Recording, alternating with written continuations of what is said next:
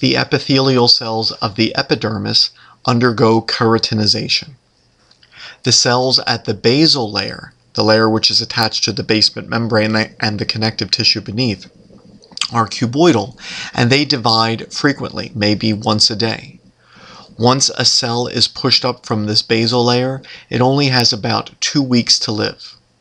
During this time, it synthesizes a great deal of the protein keratin, which is the major protein in skin, hair, and nails. Once the uh, cell begins to push upward through additional layers, uh, the cell gradually dies. The nuclei and other organelles degenerate, and so the cell then becomes a dead bag of the protein keratin. The cells are firmly anchored to each other because of the junctions found between uh, these epithelial cells.